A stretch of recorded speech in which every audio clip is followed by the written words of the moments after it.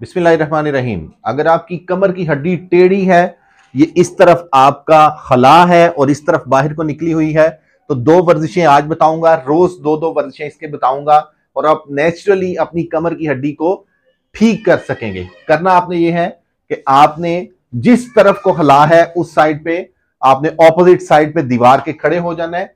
आपने दीवार के साथ इस तरह टेक लगानी है, अपनी एक टांग दूसरी टांग के ऊपर इस तरह रखनी है सर अपना दीवार की तरफ़ लगाना है, ऐसे रोटेट करना है मतलब साइड बेंडिंग करनी है।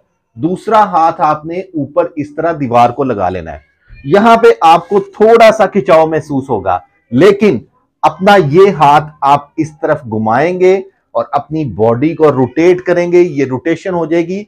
यहाँ के मसल्स खिंचने शुरू हो जाएँगे और आपकी रीढ़ की हड्डी जो टेरी है, वो सीधी होनी शुरू हो जाएगी। दूसरी वर्जिश आपने दीवार की तरफ़ मुँह करके आपने आ, बिल्कुल दोनों बाजू अपने बिल्कुल सीधा ऊपर कर लेने हैं। अपना माथा दीवार को लगा देना है। इस तरफ़ आपके खला है। आपकी ये हड्डी अगर देखें तो वो इस तरह है।